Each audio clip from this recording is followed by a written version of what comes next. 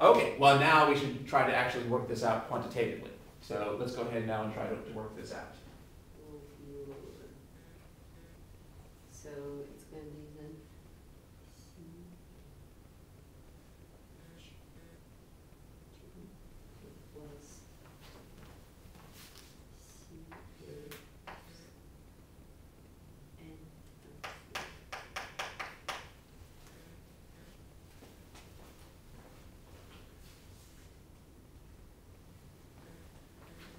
Can we do that? Oh, okay, yeah, so you're trying to react these with each other. So let me help you with this. Um, here's the way we should do this. Um, we should imagine that first we're adding the calcium nitrate, and later we're adding the calcium hydroxide. Okay. That, that's the best way to think through this problem. First, we're reacting the calcium nitrate. Or we don't have to put it that way, but first we're reacting the calcium nitrate, and then we're reacting the calcium hydroxide. So let's start by just writing the equation for calcium nitrate. Forget about the calcium hydroxide. Let's just write the equation for calcium nitrate. So it's gonna be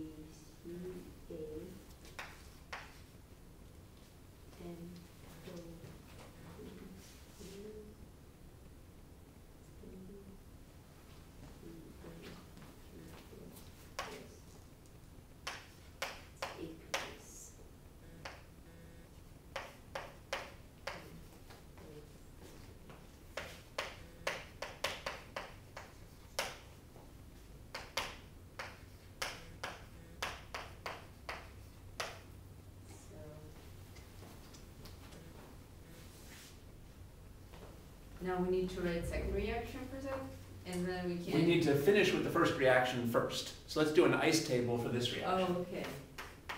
We need to let this reaction finish and then do the second reaction. Okay.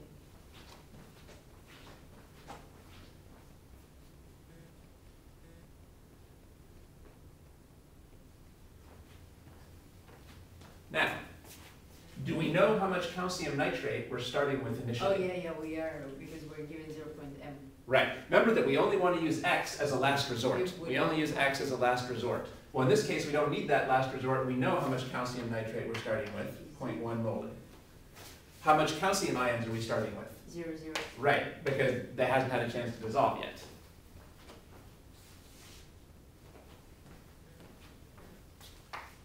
So it's going to be 0.2 plus 7?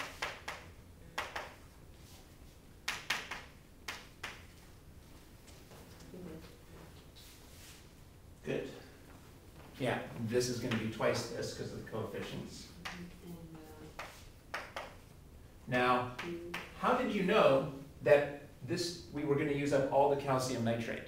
because, uh, the, we cannot go over KSP, like, I mean, we cannot dissolve more than it- the solution can take it, like. That's true. But how did you know, how did you know we were going to use up all of the calcium nitrate? How did, how do you know that we're not going to use up less than the 0.1 molar? How do you know this change will be 0.1 molar rather than less than 0.1 molar?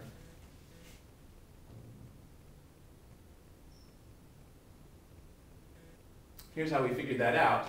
Um, do we expect this to be slightly soluble or completely soluble? It's, uh, soluble completely because uh, NO3 is, um, it dissolves in everything. That was one of the solubility rules we Yeah. memorized at the start. We memorized there's three things that are pretty much completely soluble with everything. Nitrate, Nitrate. potassium, and sodium. That's how you knew that we were going to use all of this up. So another way to put it is, how did you know that all of this was going to dissolve? How did you know that all of it would be dissolved? dissolved? Because you can always dissolve as much nitrate as you like. You can always dissolve as much nitrate as you like because it's completely soluble. So it has nothing to do with the KSP. Remember that this compound doesn't have a KSP because it's not going to equilibrium. It's going to completion. This is a dissolution reaction that goes to completion. This is like a strong acid, kind of. Okay. This is a reaction that goes to completion. It doesn't have a KSP because nitrate is completely soluble with everything. Okay, That's- so that told us what these concentrations were going to be here. Mhm. Okay, so now, now we have to carefully do the ice table for the calcium hydroxide. And again, remember that we should think that the calcium hydroxide reaction is happening after the calcium nitrate reaction is finished. We should be imagining that the calcium hydroxide reaction happens after the calcium nitrate reaction is finished. So let's now do the reaction in the ice table for the calcium hydroxide.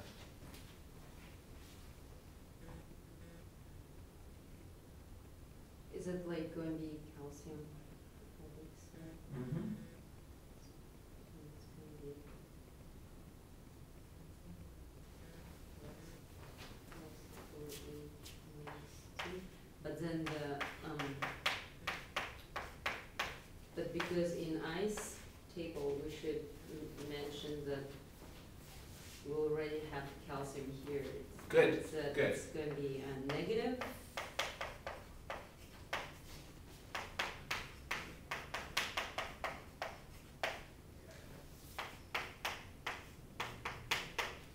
Um, I don't know if we need to add or subtract zero point one already.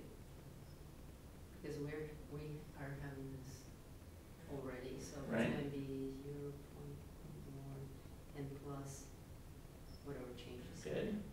Good. Good. Great. No, this is- Okay, and this here.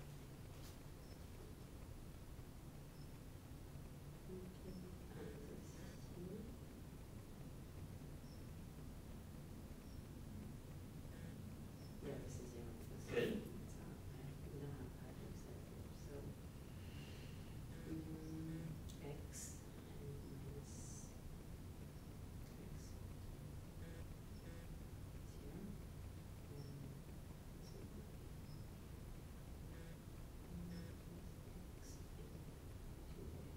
That's really that out. But let's talk about that a little because that, that's important. I think you worked that out. Okay, now, so what's the initial amount of calcium here? Um, it's zero point one molar already. Because remember I was emphasizing this reaction starts after this reaction is finished. So if this reaction ended with 0.1 molar calcium, that carries over to now this reaction is initially starting with 0.1 molar calcium.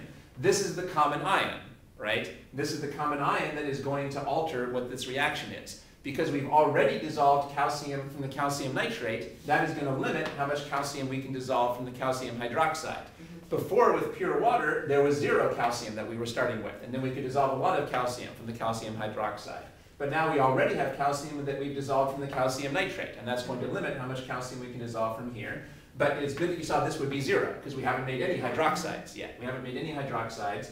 Uh, now, what, uh, I think you put an X here, right? Yeah. What, what does that X stand for? How much, uh, calcium hydroxide we start with?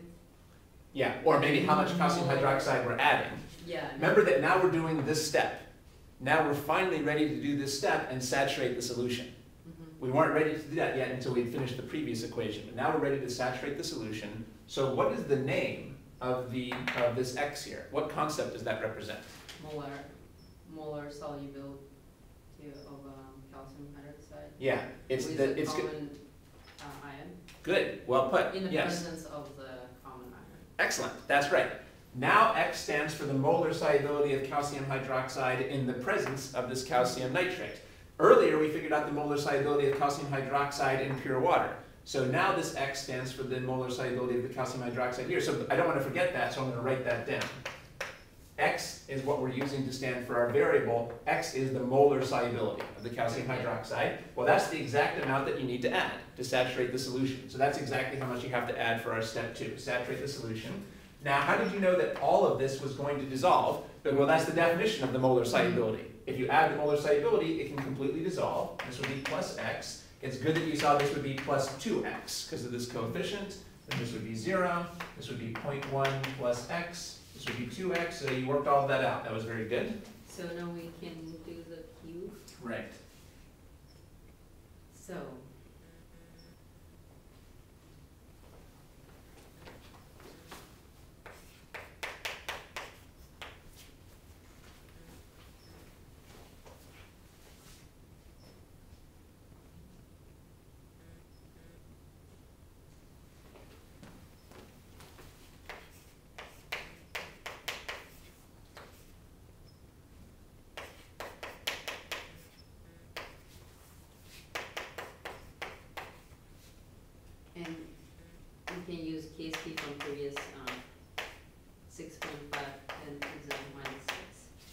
Good question. Um, is the KSP going to be the same? Yeah, because we said that it doesn't change KSP, KSP stays like constant, like for a given reaction, because, uh, it doesn't get affected by the amount of CA, because we cannot dissolve more than KSP allows. So we've already added, we've, so we've added calcium with this reaction.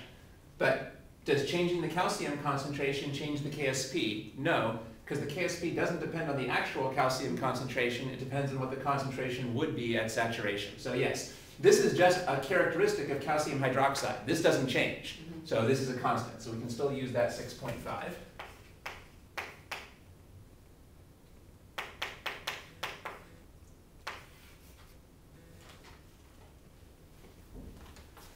And I think you saw that we have to keep squaring this because of the coefficient of it too.